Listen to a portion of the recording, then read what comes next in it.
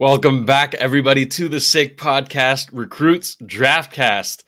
Folks, we're in mid March, and you know what that means. A month from now, it's the U18 tournament starting up. So we're going to get into that a little bit, maybe some predictions about Team Canada, which players could make the team, all of that stuff we'll dig into.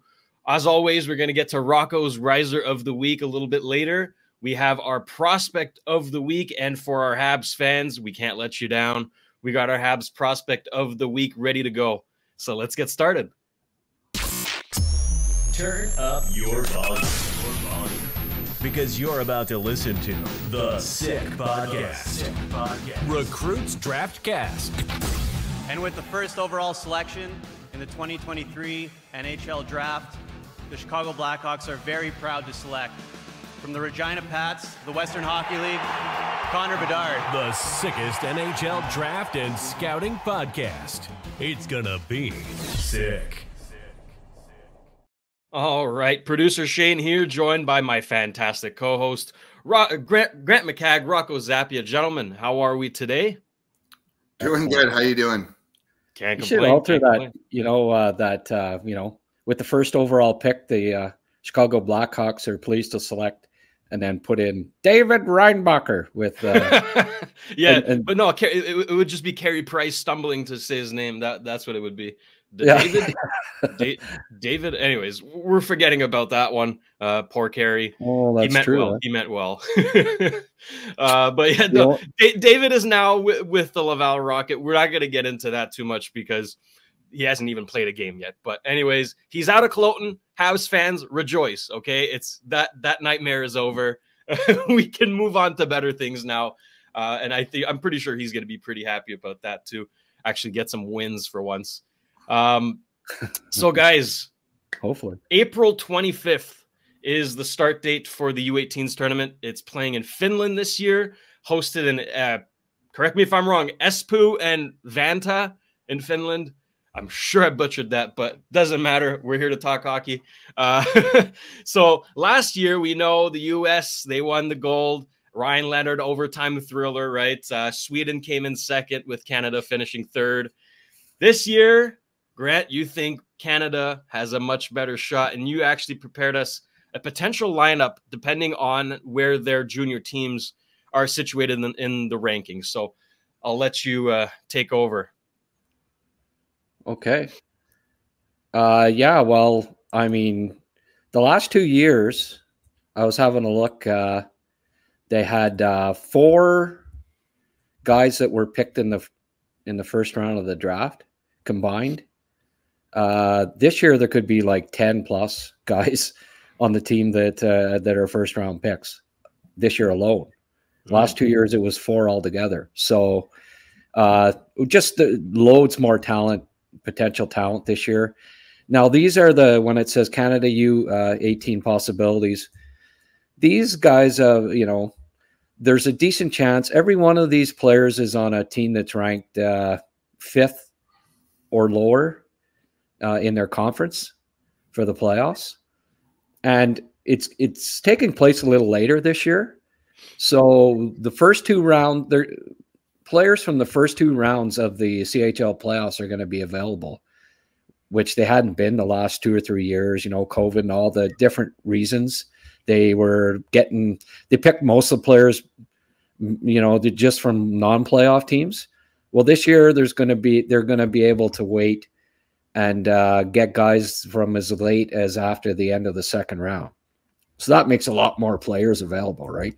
So these are all guys that I mean, if you're a fifth ranked team in your conference, odds are, first of all, you probably lose in the first round. But if you don't, you're going to play the top ranked team likely in your conference, and the odds are that you're going to lose, right?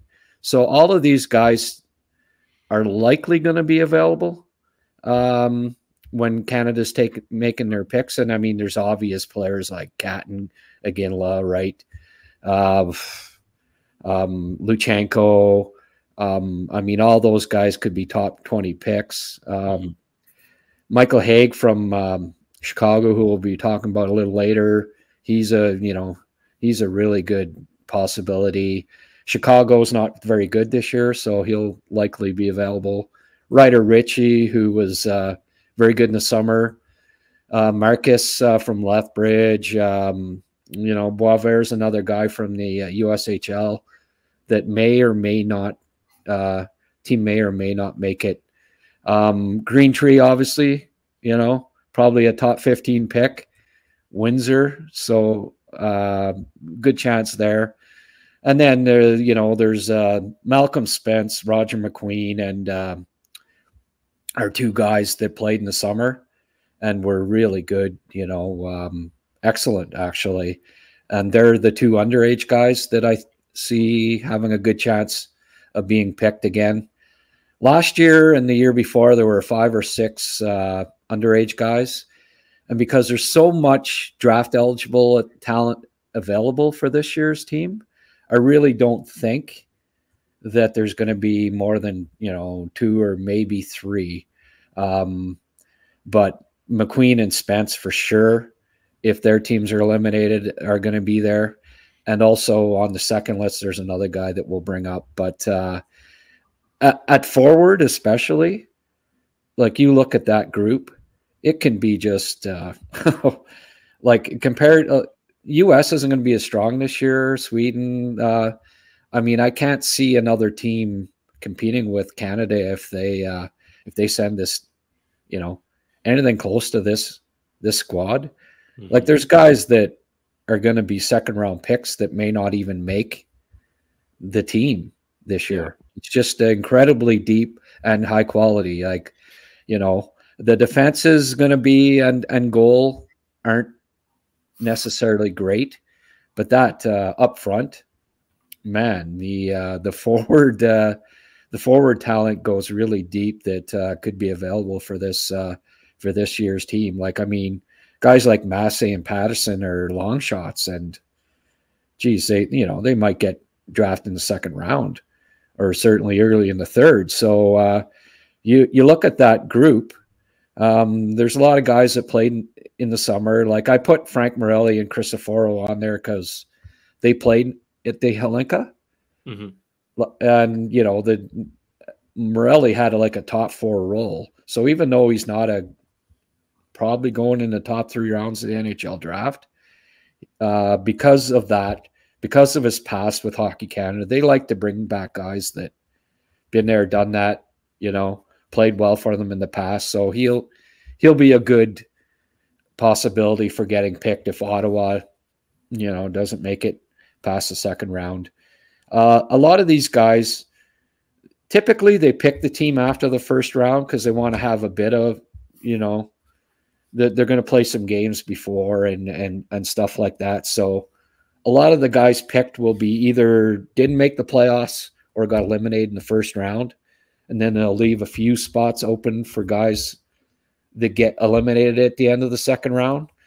So, f- for that reason alone, there might be some guys that you'd think, oh, well, they should probably be on the team, but there'll only be so many spots available uh, after, you know, at the end of the second round uh, of the CHL playoffs. So, um, Goal is the one question mark. Again, it seems to be the, a common theme with uh, Canadian teams recently. But I don't. Uh, Carter George is a good junior goalie, and certainly mm-hmm. if he makes the uh, if he gets invited there, he'll probably be one of the better goalies at, at the tournament. So uh, um, that that right there, Spencer Gill's another guy, right? Uh, there's a few teams that are five, six, and they might end up fourth or whatever, you know, before the playoffs because there's so, the play the, the playoff races are so tight. But even if you are a fourth ranked team, again, second round, you're likely playing the top seed unless there's real big upsets, and you're go- you're probably gone after the second round. So all of these guys, there's a decent bet that they'll be available when the team's being picked uh, and when there's you know when they're adding guys later. And they all are uh, good prospects. So um, what do you think of that uh, that group uh, rocco? Yeah i mean if we're if we're just doing the, the qualifier with the you know the fifth ranked teams and below i mean there's nothing there's nothing not like about the forwards for sure. Like you mentioned, they've got they've got every really really every dimension that you would want um, from a forward group at at a tournament like this. I mean, you you got three really three good scoring lines there and, and a solid big big fourth line if you want it. Um, the defense the defense doesn't the defense to me is lacking a star. Um, there's no star. I don't know on that on that decor, but they're but it's deep and it's solid. Um, and there's some bigger players there too. So you like that. And those guys can move the puck all well enough to get them up to the forward. And, and guys like guys like Muse and Cristoforo, even though maybe I don't love them as much for NHL projections as junior players in a tournament like this, they probably they probably do stand out and look and look quite good there. So hopefully those two can maybe carry some of the offensive load. And the other guys can can just be just be big and solid, and, and that that's fine. The forwards are good enough. That's the skaters there are, are really really solid. Goaltending, like you said, it's always seems to be a question mark for Canada lately.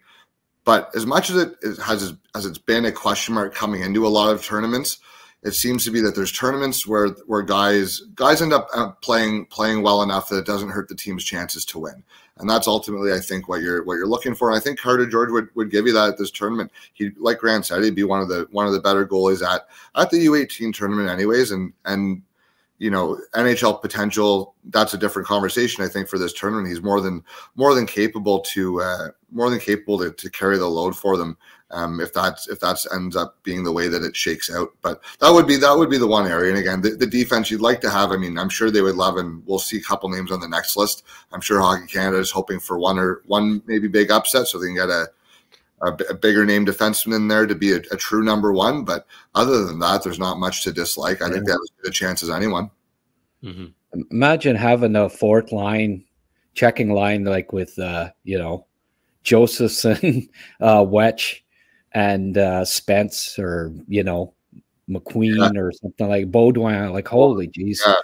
you know, like you say, there's all they've got.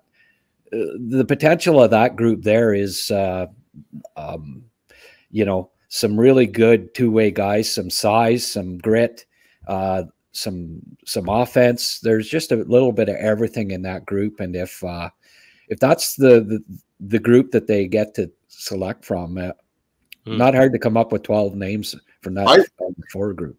I I think Luchanko and Greentree would be a fun pair to play together. oh yeah, yeah. Well, yeah, higher up though, like not. No, no, on your second line. Yeah, yeah. Yeah, yeah, yeah. you know. Yeah, yeah. No, no, no. I'm not saying below, but that'd be you know you pair oh, up Catton, yeah. Catton and, and Iginla, I think makes a pretty natural tandem, and I think Luchanko and Greentree would would as well. And you, wow, sure. fill out around that, and you're, you're doing okay. Josephson and Beaudoin would probably pair fairly well together on a checking line as well. So there's some yeah. good there's some good, and, I, am a I'm a fan of that. I like I like kind of tandeming guys and then rotating the best fit sort of thing for them rather than having set groups of three. But um, that's a different that's a different topic. There's some it'd be a fun team to watch. I think better than better than last year's, I believe. Definitely, oh, for sure. Yeah, I mean, last year's had had Celebrini, right? But uh, this year, I think. I mean, we can. Are we are we ready for the long shots list? Sure. Do we want to? Oh, I just, I just want to say it one one yep. time while we had that, had that up we're finally we're fa- we're finally calling Catton a number one center, so everyone can be. Everybody in the comments, take it back. take it back. Catton can be Canada's number one center, so there it is. Yeah, uh, yeah. I think I think we can all agree on that one. So let's look at some long shots. Uh, obviously, Celebrini headlines this list, right? Obviously, it's unlikely unlikely that he makes the team, that uh, BU gets bounced, but anything is possible, right? And if he if he if they do get bounced, then that's a welcome addition if there's anyone, right?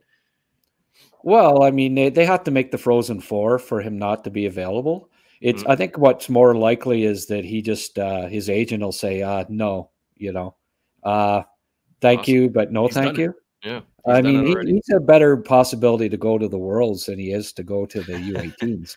You yeah. know, um, I mean, Fantilli went to the Worlds, uh, Power went to the Worlds you know, it seems like the Chicago Steel guys that come up through that system, that seems to be they all end up going to the worlds in their draft year, yeah. which is kind of cool. Um, yeah, and I, I, had a NHL scout when I sent this list. He said Celebrini won't be there, uh, you know. So no, I I know, but you got to put his name there, and then explain why, mm. you know, or, or we'll get the just like the why isn't Catton in your top 10? We get the why isn't Celebrini on your list? Well, we're explaining why he is on the list, but don't be expecting him at the U18s. That's why he's under longer shots. Not be, not necessarily because BU will will be in the final four. I mean, it's a tough go. They'll have to get uh, you know uh, I mean, it, it's hard to get to the final four. There's some really good teams, yeah. and they're second ranked right now, but they could get bounced uh, first round, and we've seen it many times. So, um, LeTourneau, I got some quick, uh, some inside info on that just before the podcast. Uh, I guess he's on the he's a long shot. Uh, apparently, you know they've been in touch with uh, Hockey Canada and, and keeping in touch, but he's been told that he's in the mix, but that at this point he's on the uh, quote outside looking in. Um, I guess it's because of the lack of competition, right? That uh, mm. that just uh, it scares uh, Hockey Canada to to bring a kid in to that level of competition, and it's unfortunate because it really is going to, I think, end up hurting his draft stock the team's not getting to see him play at that level against better teams. Uh, but at the end of the day, and we've said it, you know, you've said it lots of times, I've said it many times. It's not where you're drafted, it's what you do after you're drafted, right? Right. Like he, I have a feeling he may not get picked now till the second round because they're just the teams that that St. Andrews College plays against most nights, they're blowing them out 10 1. And so, you know, let me chime in there for a minute. So if that's, yeah. if that's a concern now, and I don't know, I don't know anything about the kid. I'm just making up a scenario in my head. But say you're the kid and you want to be your goal is to be a first rounder, right? You want to be a first rounder. You want to make this UA team. Why the hell are you playing high school hockey? Oh, maybe that, that's not his goal. Yeah, no, and that's and that's what I mean. I don't. That's what I'm saying. I'm making making that scenario, but I mean, if he wants to be, his agent's reaching out to Hockey Canada, seeing if he has a chance to make the team. Obviously, he wants to be included and and if quality of competition like i mean i've, I've watched a few of those high school games it's it's almost impossible to scout because of what you said the quality of competition like is so is so low so yeah. I, I don't know i don't i don't i never understood playing in that mm-hmm. kind of canadian prep school kind of circuit i don't i don't really get it especially if you have a chance to be a, a higher pick i mean if you're taking if your kid that's taking the longer out going through ncaa after but i mean yeah. if you're a highly touted guy i just thinking out loud, I just don't really understand it because it does hurt your chances to get selected to things like this and to get get picked higher up. Not that it matters ten years down the road, but I mean, mm-hmm. still. No, I know, and I mean, we've been scouts have been lamenting it all year, but the fact is that a, at least one guy from St. Andrews College has been picked the last five or six years in the draft. They have a good system, and these guys are going on and making the NHL, so they're developing decently.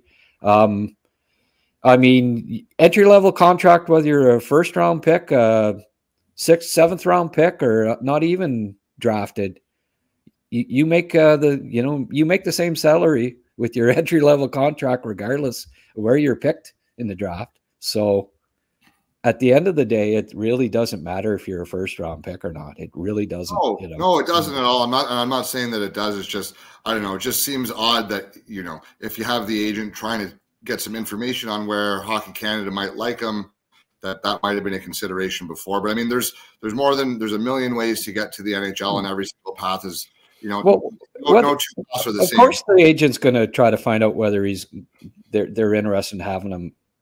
Whether yeah. they want him in the first, you know, yeah, and of course they'd like him to get drafted in the first round, but I mean, they have no control over that. I think what's bothering I've heard that he's not going to play in the USHL down the stretch here either, which I think he played a couple of games earlier in the year. Yeah. And I think that might bother uh, scouts as much as anything. But the fact, do you have any idea why he is that a is that a health reason, or they just they're they're happy with the body of work that he has already, or what? I'm not sure. I just uh, I I just heard from a scout today that he's he's likely not gonna. That might be the team making that decision and not him, right? Yeah, I don't know. I don't know the, the ins and outs of it. All I know is that you don't expect them to be at the from what I what I was told from well couldn't be a better source than what I was told. Uh, you know, so um, but let's move on here. Uh, yep. We could talk about him all day, but um, obviously Lindstrom and Basha, if Medicine Hat, I mean they they were a first place team early on, but since Lindstrom got hurt, they uh, they've really sunk. So they may not make it past the hmm. second round. Lindstrom should be back soon. I've been hearing like any time now.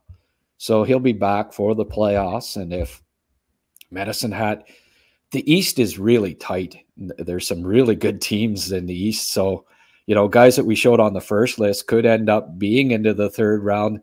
And then uh, uh, guys like uh, Lindstrom and Basha are available, you know. Mm-hmm. And it's the same with Seneki too and Oshawa. They're yeah, they're in first place, but I mean the fourth place team in their conference, you know, is like uh, two points behind or something. So there's no guarantees that they make the uh, the third round of the OHL playoffs either. So Seneki and and Morelli, who you see, you know, obviously Dickinson Morelli would be completely welcome additions to that team. They'd yeah. probably be the top pairing, right? To, at, uh, for the team if they ended up uh, uh, getting eliminated in the playoffs.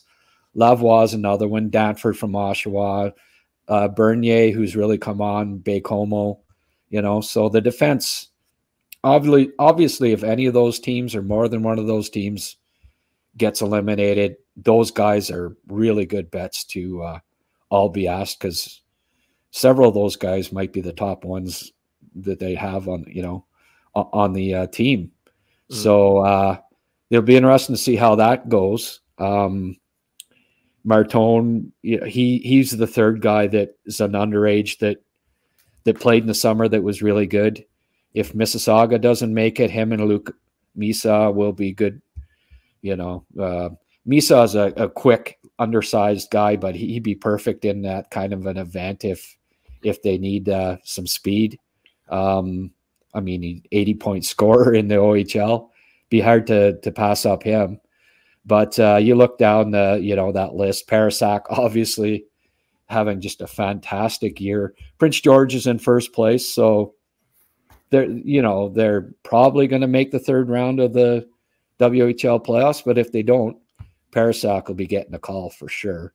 Mm-hmm. Put Villeneuve on there, but yeah, after the 15 game suspension for putting the bounty on the player, uh, don't be don't be expecting Hockey Canada to be giving him a call, even if uh, he would be a good good choice on that team. Um, Walton, also Sudbury.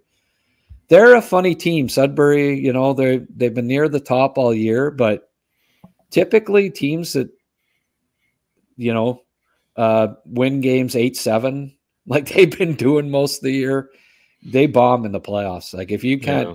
if you're not strong defensively, as a rule, you know when things get tighter, if they can check that top line, Musty, uh, Goyette, and uh, I guess Goyette's on the second line now. But if they can hold Dvorsky and Musty in check, that team's going to be in trouble. So, you know, there's there's a possibility that Sudbury gets eliminated in the first or second round, and then you'd have to look at a kid like Walton because he's a pretty good skater, right? Uh, so, I mean, uh, he's not noted to be real physical, but he's a good skater.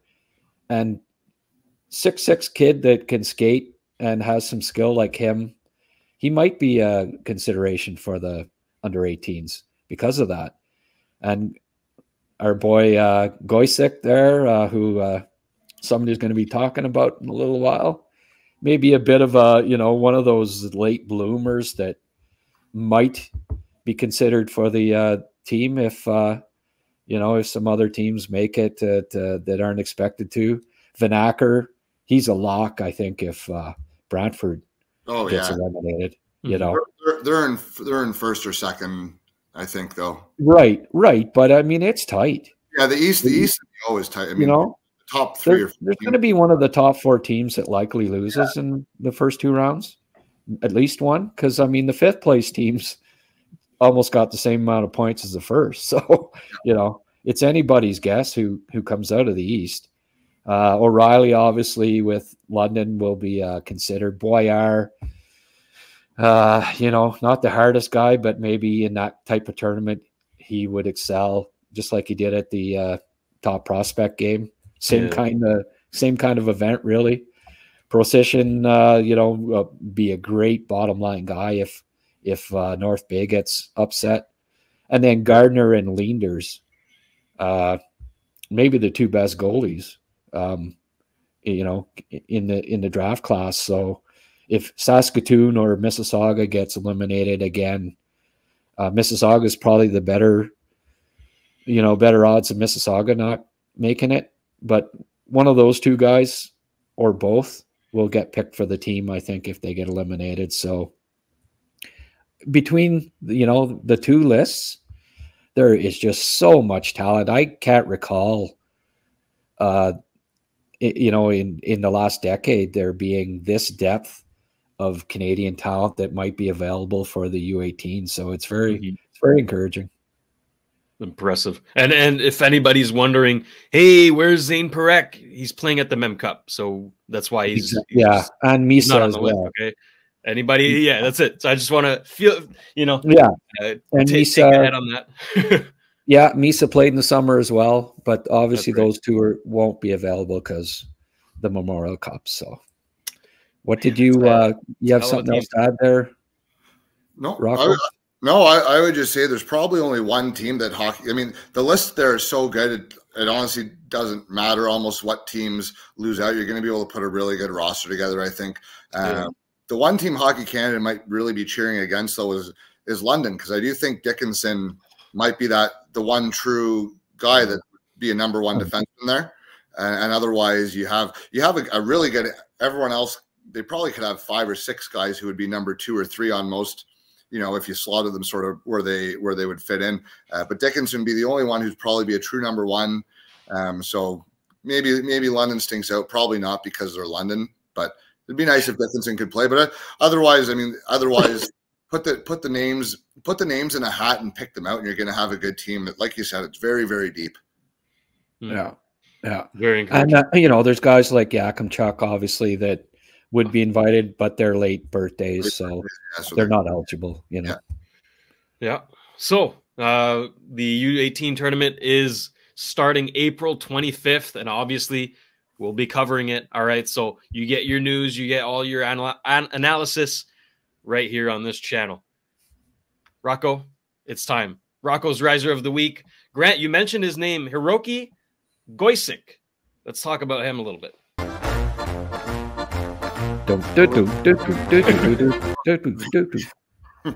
Got uh, Hiroki Gojsic. I'm gonna call. I've been calling him joystick. I can't get it right, but it's Gojsic. Uh, right wing number 29 for the Kelowna Rockets. Uh, he's Iginla's line mate actually now. Well, he, he is, has been lately. 6'3", 198 pound power forward. He's got 21 goals, 50 points in 66 games but half of those totals 11 goals 25 points came in his last 18 games so he's mm. really really really come on uh, that that that latter third of the season really he is a rookie in the WHL this year. He actually played Junior A last season for Penticton in the uh, the Wild West BCHL Independent Hockey League. So there was a bit of a slow start and an adjustment period for him. Uh, and I will be honest, I watch Iginla quite a bit earlier in the year, and I this guy did not stand out to me at at all, almost whatsoever. Um, and I, I was told to take another another look, and that he's really come on, and it's you know it's he he really stood out in the couple games that that I watched, anyways. So the other thing with his totals, he's only got two of his goals have come on the power play this year, so he's doing almost all of his damage, at least in the goal scoring department. And there's one there. Um, he's doing it almost all five on five, which I you really like to see because you wonder what would happen if he was given a, a, bigger power play role. And he does play a little bit on the power play now, but he he hasn't obviously for the most part of the year. Now, in terms of strengths here, size at 6'3, almost 200 pounds, that's obviously that's obviously a big plus. Grant's going to be happy. I looked at the central scouting database. Those are official heights and weights. six two and three quarters, but I'm going to round up and call that okay. So size and strength are, are massive pluses for him, especially at the junior level. Um, he is he is growing into a man's body much quicker than than a lot of guys, so that gives him a big advantage here, um, big time he has a very very good shot actually as well which one thing i noticed and i watched some of his well i watch all his, his point highlights for the year and he gets the thing off quick and it's it's heavy.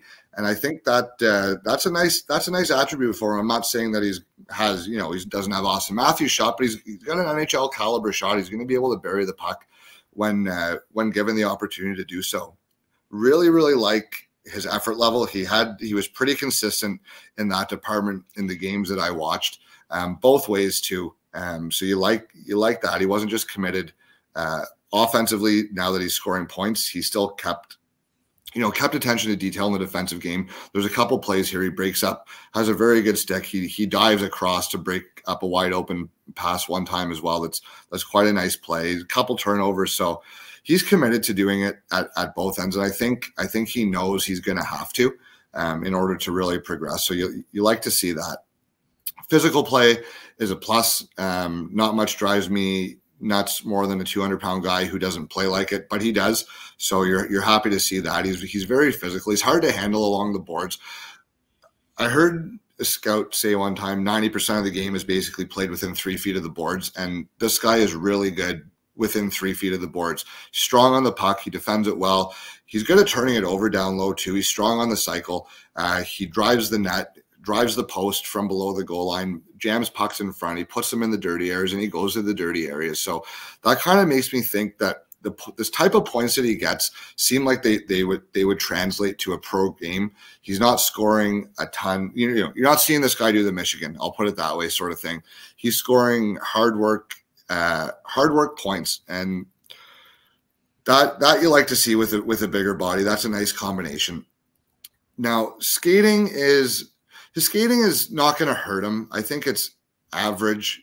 I don't. I don't think it'll hold him back. It's it's good. It's good enough. He's not the fastest player in the world. Um, I think as he gets older, he'll get a little less tired. He gets a little tired at the end of his shifts, um, where he gets kind of big man, heavy legs, which can happen with with bigger guys. It's not uncommon at all. So I'm not really concerned about it because at the beginning of his shifts, he does have some buzz and he's got a little pep in his step average puck skills, good enough, but just just average. Can make a pass, but he's not going to wow you with any sort. He's doesn't not going to look like Kucherov out there, and that's and that's fine. But he wins a lot of battles, cycles a puck well. To me, he's got some middle six upside because he can he can shoot and he can bang around and he can dig and he gets possession of the puck. So a lot of times, maybe a guy like that who's not quite as skilled, you play on your second or third line with some more skilled guys, and, and they can fit in and contribute in that sense. So a little versatility, but probably projects more as as a bottom six guy. Um, as of right now, just based on the few games that I watched from from the last his last few, uh, I'd probably put about a third round grade on him. But I mean, if he keeps scoring at a at a point and a half a game through the playoffs, maybe that you know maybe someone takes him a little bit higher than that. Um, and and conversely, if he, he falls off and drops off, maybe he goes a little bit lower than that. But he's he's comfortably inside the top 100 for me. I like him in the top half of the draft for sure. Um, and yeah, it's nice. It's nice. I like seeing guys that that really come on second half, especially when they played in a different league last year. You get that adjustment period of the way, you get the confidence, you get going, and then you really kind of see what they can do when they're given an opportunity because they got to earn their way up their own team first, right? You're not just handed the opportunity. So you spend all season working hard and playing the right way. You get rewarded with ice time and, and situational play, and he's taking advantage of it. So I'm excited to see what he can do in the playoffs, and I think the playoff game is going to suit him just fine. Yeah, yeah and, and especially big guys like that that come on yeah. as the year goes along because he's growing into his body, right? Yep. And uh, and presumably his his skating will continue to improve as he as he gets a little stronger. Uh, those are impressive highlights. I like. I'm glad you picked that game because I saw that game, and then that was, you know, uh, yeah. I told you after uh, I was talking to some scouts saying, "Hey, this, you know, this guy's really coming on," and and I got some uh, confirmation of that told uh, told Rocco to have a look at him and see if he thought that he's he'd be a good uh, guy for a riser. And you know, I got back the text, "Oh, I like this guy." You know, so yeah. it was uh, yeah. I'm glad you do, and um, we're, we did not have him in the rankings, and we're going to plop him into the solidly into the third round for now, maybe even uh, 70 range, because there are some things to like there. And once you get past the top 60, it's you know, it, yeah, like I, I would, I would put, I would maybe put him in, so like in the same tier, and I don't care which one you, you put ahead because I have time for either. I have time for the debate for either guy being ahead right now. But him and Walton would Walton. be same range, same range yeah. of player for me. Um, where they're a bigger, bigger guy with some upside. Now they bring some. They're not the same player. I'm not trying to say they are, but they're in that same range. Right. Uh, comfortably in the third round sort of thing in the in the mid 70s is is where I kind of plopped him in um, after watching I, I watched his last three games um, including the one that we featured here. So that's kind of what I got got away from it. But but there are some things like would, wouldn't shock me wouldn't shock me whatsoever if, if he goes somewhere between 50 and 65 in the in the end of the second round sort of thing. Well he's a riser. Good uh, a good Rocco riser there for sure. A lot to like, a lot to like from Hiroki yeah. Gojsic. Gojsic, Gojsic, Gojsic. I gotta. Anyways, that's that's a learning curve there. But uh, Hiroki Gojsic from the Kelowna Rockets, Rocco's Riser of the Week. Great pick as always. Grant, it's time for your prospect of the week, and we mentioned him before already. Michael Hage. Let's have a look. Yeah, uh, I believe I said Haig, but um, I, have heard both. I've heard both said Haig and Hage, but I think it's Haig that's certainly what they were saying in the uh, the broadcast here. So presumably they know. Um, he's uh, he's with Chicago Steel. Uh, it three straight years or four, three out of the last four that a Southern Ontario boy has played uh, has gone the uh, Chicago Steel route. You know, you, you can add him along with Fantilli and uh, and Power. Um, and uh, I mean, he's their leading scorer this year. In the last 23 games, he's got 20 goals and 20 assists. So, and moved up to third place in the USHL in scoring. So, I mean, when you look at these highlights, the first thing that jumped out to me, very first shift, was his skating. He's uh, smooth, powerful stride, um, good puck skills, good motor, uh, and a heavy, accurate shot with a great release. So, you like the skill level, you like the skating, and he's uh, He's listed at six six foot one eighty seven by Central, but I have uh, I have a feeling he's a little bigger than that. I think he's at least six foot and a half, probably six one, but he's he's going to be two hundred pounder. Like you can you look at the frame there, he's a, he's a big kid. So um, I like him a lot. Uh, I think he's he's come on as the season went along. He's really highly regarded and thought of as a top twenty guy going into the year. But then he started off the the season with just uh, well, when I say just, but when you're highly touted, he had 10 points in his first dozen games. But since then, he's at 55 and 36. So you like to see players uh, improving the production wise during the season. Um, the other knock on him early on was that he wasn't competing hard enough away from the puck. Now, this is a game against Green Bay, March 13th. Uh, they won 4 2, and he had two goals and two assists. So hmm. there was one there. Obviously, that impressed me, but his play away from the puck was pretty decent here. There, he ran a guy into the boards, and you can tell that he didn't really, you know, well, sorry about that. You know, he didn't want to fight with the guy or anything, but I don't think he meant it. But he, his, uh, I liked his play away from the puck. He hustled. Here's a good rub out into the boards. So he's got a little bit of physical edge to him. I think it's it's there for him to be a, a solid two way center because he he's got decent size and he's a good skater. It's just a matter of uh, figuring that part out. You know, I mean, w- when we're kids, you want to score goals, right? Not emphasis on that, but as, as time goes along and he gets higher up and the you know up the food chain here with leagues, uh, he'll he'll keep improving that, I think, because it'll be drilled into him. Um, the physical skills are there for him to be a good two way center. Um, I think in a middle line role, that he's got the skill level to be at that, uh, you know, to have that upside at the NHL level. So, um, had him towards the end, uh, you know, the 30 range. And earlier on, he was uh, mid second because of his slow start. Uh, but n- now I'm hearing uh, there's a very good chance that uh, he could be he could be a uh, top 20 guy. Um, you know, and looking at it here, here's a here's an idea of his release and his shot on this uh, replay. Beautiful shot there. So uh, I ended it off with a couple of his goals in other games, just to kind of give you a better. That was a nice uh, uh, no look pass that he made there. And again, this the toe dragon shot on that one, NHL level skill. You right here, just ring, and then found the corner. Beautiful goal there. So that gives you an idea of of his skill level, right?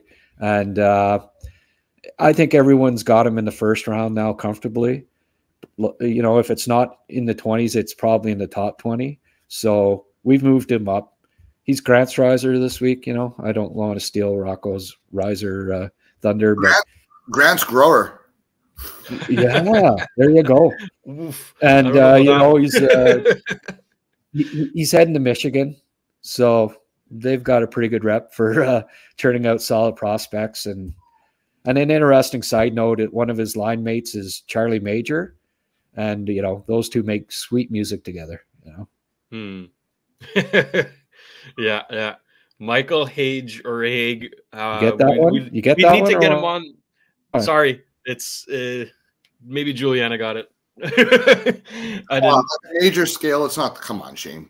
Even I got that one. Uh, I don't know. Maybe I need more sleep. I'm too tired. Whatever you want to say it. Oh, Sorry, I Grant. expected I expected I, I expected lots I expected lots of laughter there, but geez, it was like stone face. No, actually, I didn't. I, I that was just about the right reaction that I expected, but that's fine. oh, that's good. That's good. So, uh, Michael Hage or Haig, prospect of the week, riser of the week, Grant's grower, however you want to call it. I don't think we're going to use that anymore. Oh, let's get rid of that one. yeah, yeah, I think that's a good call. That's a good One call. time only. Uh, so, so Yeah. Yeah.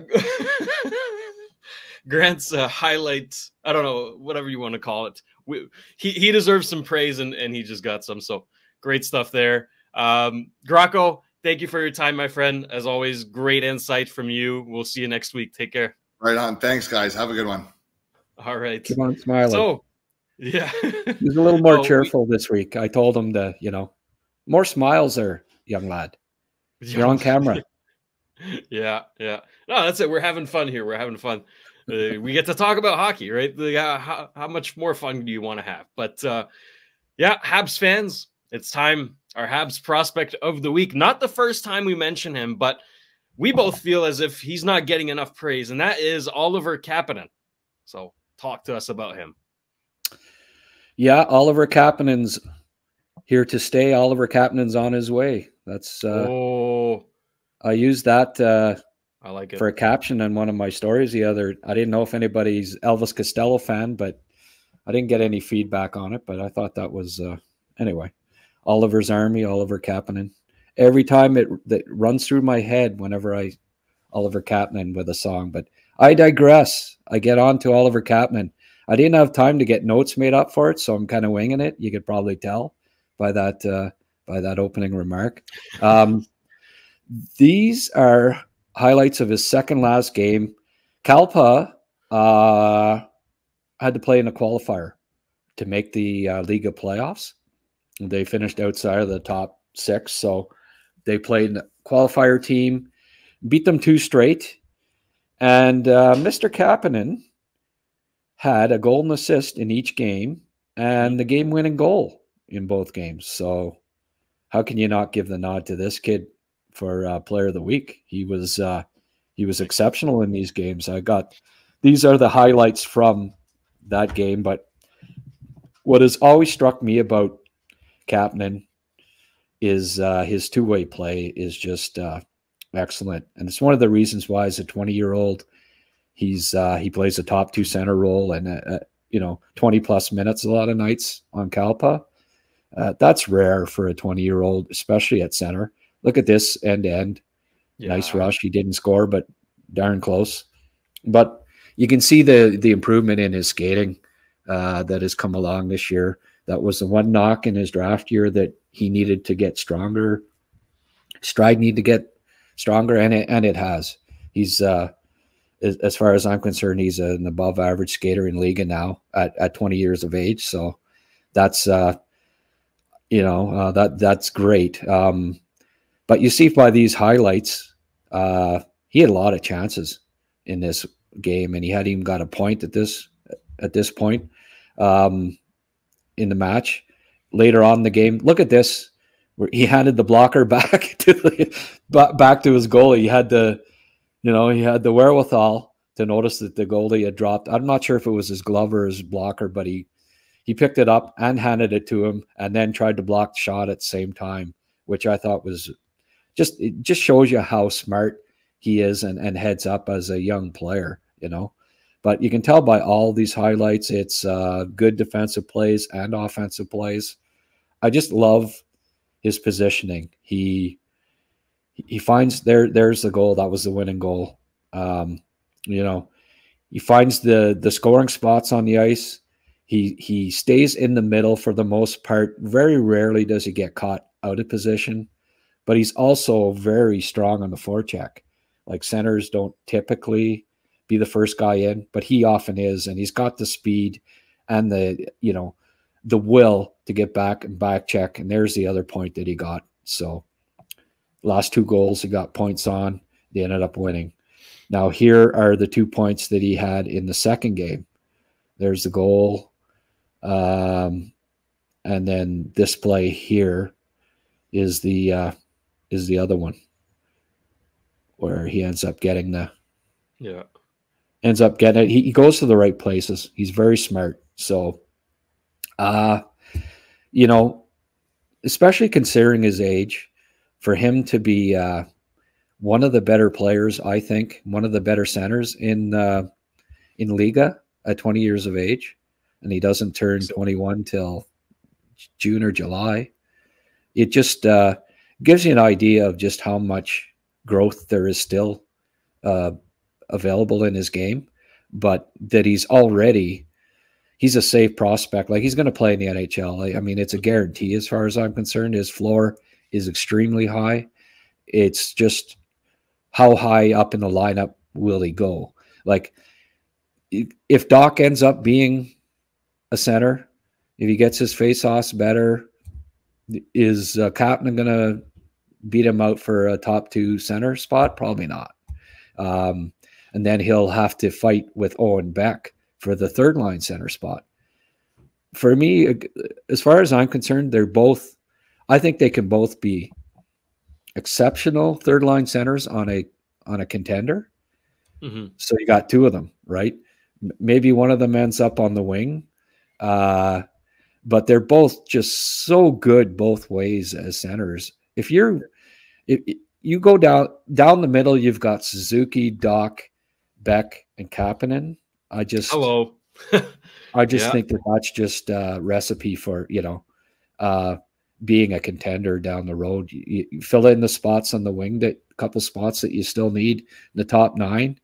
Uh, maybe get another. You know, I don't know if Luke Tuch uh, develops into a bottom six winger, but he might be the consummate, the type of guy you're looking for with Absolutely. the size and, and physical play speed mm-hmm. that he has. So there aren't that many missing spots, I don't think, going to in the future. If Joshua Waugh keeps improving, they pick up another guy. They draft a kid, uh, another forward in the top 10 this year. There's a lot of really nice pieces going forward. And uh, I think Oliver Kapanen's going to be one of them. So, um, interesting uh, hockey prospects or no hockey uh, elite prospects. That's it. Hmm. Uh, put out a rumor yesterday that he's going to head to Team Timrå next year.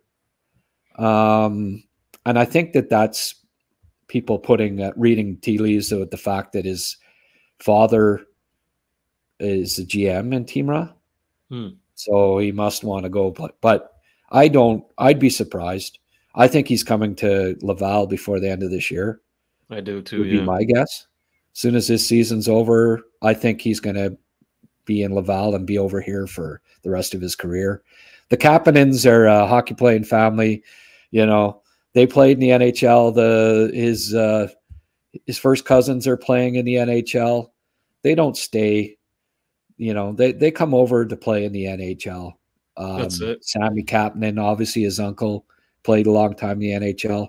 So I don't see his dad wanting it to, you know, well, you'll help our team come and play for our team. He's going to want what's best for Oliver. And as far as I'm concerned, going to Laval the end of this year and then playing next year, Laval or Montreal is the uh, is the route for him to go. So Mhm. I if it, if I were to guess, I would say that he's not going to play at Timra next year. That that's just a rumor based on the fact that his dad is the GM there and not, and not much else. Yeah. No, I, I think he'll he'll be in in Laval, like you said, as soon as this year, probably. So, um, yeah, I mean, he's ready, right? You, you can see it in the clips. He's ready for that next step to play pro uh, in North America. So, yeah, exciting Yeah. stuff. Again, uh, and another another underrated prospect. It seems you know a lot of a lot of Habs prospects are, are put under microscopes, right? The the higher picks and all that, but this guy is he should be getting just as much as attention. Uh, I think he's got great, great upside. So it's it's it's very, very exciting. Now, uh, in the beginning of the show, I did say we weren't really going to talk about it, but come on, we we have to mention him a little bit. David Reinbacher has made the transition to North America about damn time, and I know that people want to hear you, Grant. Uh, what do you expect from the rest of this season? Right, forget the next season, but the few games that the Rocket has left. What what what would what role would you like him to play? What would you like him to to do there? Well, uh, you know, it was nice of you to wait till after Rocco was gone because uh, the Sens have so few prospects coming up. It would just make them feel bad, right? So Ooh, That- dig, dig.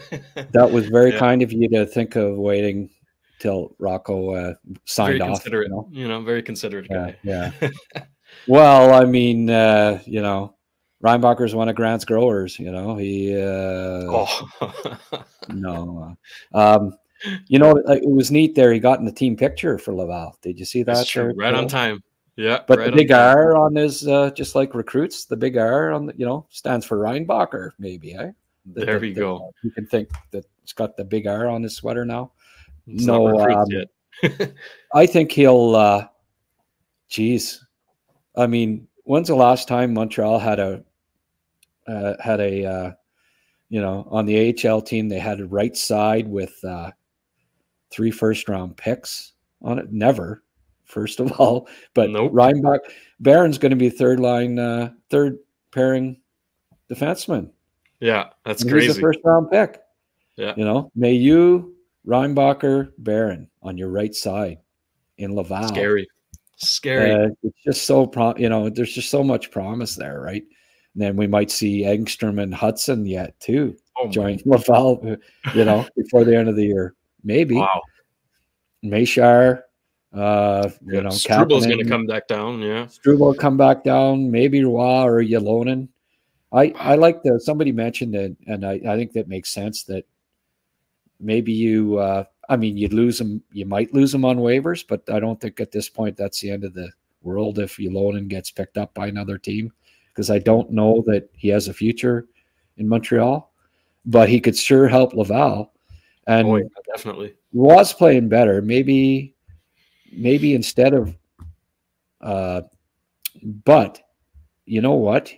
He wouldn't have been. he- Was he papered? That's the thing. What? Like I don't. Ylönen. Yeah. No, not the only ones who were were Joshua Roy and Jayden Struble. Right. So Ylönen couldn't even I don't think be so. eligible for the playoffs. I don't think if Oh. they sent him back down because they didn't. He wasn't papered. Uh, yeah, that that could be. I know somebody had mentioned. it. I thought it was a good idea, but the more I think about it, I don't think he would be eligible for the playoffs. I mean, they could send him back down to help him get into the playoffs, and that's a possibility, you know. And then uh, when the season ends, or there's still two games Laval left, then send Roy back down for the last two games in the playoffs. So maybe, maybe they go that route. Um, now, uh, but yeah, I don't see. I could see Struble getting sent down too. and wow, that you know, yeah, it's a young defense core, but boy, oh boy, so much talent. Yeah, just yeah, so I, it would be just great if uh, if all those guys were were in Laval. Um, yeah, I think Reinbacher. Uh, it, there might there'll be an adjustment period for him. The mm. the small ice, uh, the physical game in in the AHL.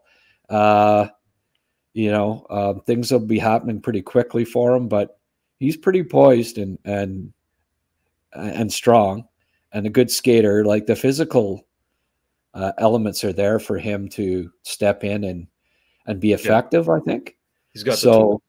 Mm-hmm. Yeah, so I think he'll uh, he'll look good. Um, be interesting to see if he gets any power play time or stuff like that. They may they may ease him into that mm. and the PK as well. I don't see them, you know. I mean, they've got Mailloux right as the stud on the right side for them. Yeah. So they may ease him in a bit and play him 15 to 20 minutes and not, you know, 23 plus right away. But I expect them to to look decent and to help the team uh, get in the playoffs. It's it this weekend. It, it, the timing is great because they go to three game road trip, three nights in a row, uh, and two against Belleville and one against Toronto. The teams that they have to beat out for that last spot. Fun so, games, yeah, pivotal games, and and I mean, what better atmosphere for uh, to go from Kloten that you know was out of the playoffs basically since January Anchor. to the middle of a uh, a heated playoff race. I think it's kind of cool that the first three games too for him will be on the road, mm-hmm.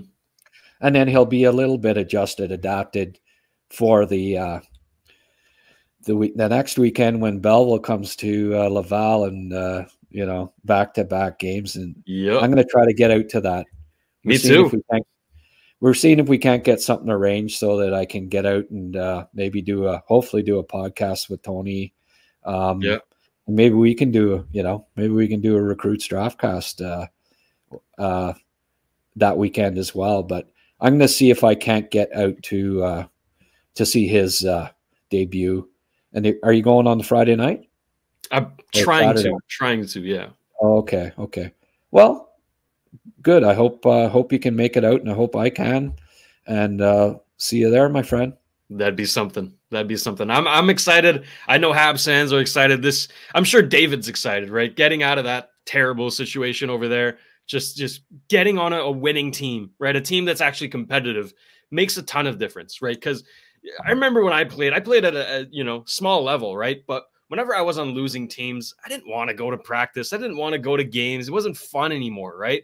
But when you're competitive, when you know you got a shot, you got a good team, it's like okay like i actually have the the love for hockey is back right i want to go to the arena i want to play hard uh, i think this can do just wonders for his development uh, and for the team as well because let's not forget he is one hell of a player so uh, very very excited to see david play for laval as soon as this weekend hopefully so uh, i think a lot of habs fans are going to be tuning in for that i don't even know if it's broadcasted since uh, it's it's away games but whatever. We're going to keep an eye on that for sure.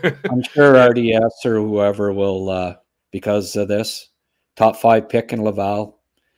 I remember that they made special broadcasts when KK and Caufield came down. Yeah. So. I, I would think at least one of the games will be uh, uh, on one of the French sports networks.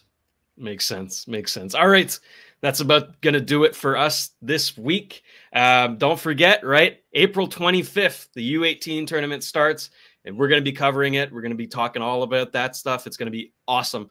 I cannot wait for that. Uh, let us know in the comments how you think David Reinbacher will fare in Laval, what your expectations are for that for him. We'd love to know. And as always, go check out recrutes.ca for all of your Habs and draft coverage. There's uh, you know scout testimonials. There's player profiles on there. Everything you need to know you will find on recrutes.ca. Grant, any parting remarks from you, Grant Scrower? Well, we want to keep it under uh, 60 minutes here, and it's close. So, well, thank you all for tuning in. Yeah, we'll see you next week. Take care. And that's a wrap. Hope you don't miss us too much until next time. Follow the Sick Podcast, Recrutes Draftcast on YouTube, Facebook, Google Play, and Apple Podcasts.